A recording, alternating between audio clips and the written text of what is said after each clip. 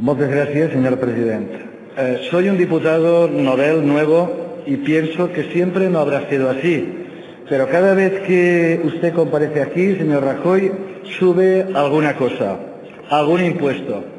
Ha subido el IRPF, ha subido la facilidad para despedir a la gente, también ha subido la alegría de la patronal, la, la alegría del señor Rosell, la alegría de los bancos y hoy mismo ya se habla de subir el IVA, el recibo de la luz o otros impuestos. Venimos aquí y usted nos habla de déficit, de ajuste, de flexibilizar salarios, de su reforma laboral, que no es más que una reforma para facilitar el, el despido. Nos recita el credo, su credo, que con todas estas medidas vendrán el crecimiento, el empleo, el empleo a los más jóvenes, el crédito a las personas y a las pymes. Me recuerda usted a antes de las elecciones o ahora mismo al señor Arenas. Cuando llegara al Partido Popular, esto sería el mundo feliz. Aquí no subiría nada y aquí todos viviríamos felices con mucho empleo.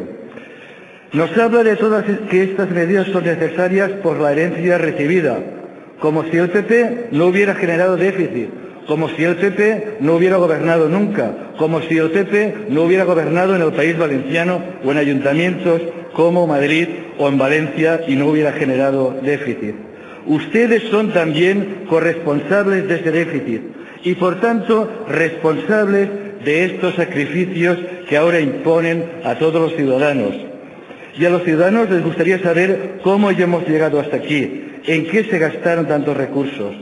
Hay una foto que ilustra muy bien cómo nos sentimos muchos ciudadanos. Es la foto que salía ayer en la prensa donde Jean-Claude Juncker le apretaba el cuello al ministro de Guindos. Esa es la sensación que tenemos los ciudadanos con sus políticas, con su obsesión por el déficit, con el 5,8, con el 5,3, con el ajuste, que no nos, no nos traen nada más que paro, más pobreza, que están destruyendo derechos y que están desregulando el mercado laboral. Señor Rajoy, desde Compromiso Equo le decimos que no nos gusta cómo están haciendo las cosas. No nos gusta cómo nos están apretando el cuello. Por eso, por dignidad, lucharemos contra sus políticas, aquellas que solo velan por la disciplina fiscal, y no por el empleo y el crecimiento.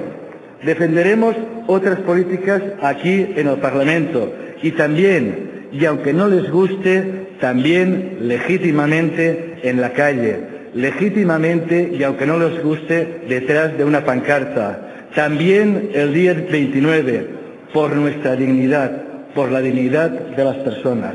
Muchas gracias, señor presidente.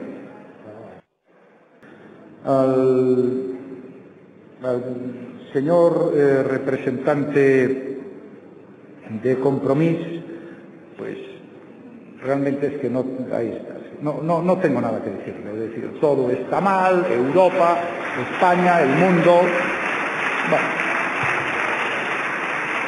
todo lo hacemos mal, todas nuestras recetas son equivocadas, el único listo que hay aquí es usted, así que si tiene bien ayudarme, yo se lo agradezco.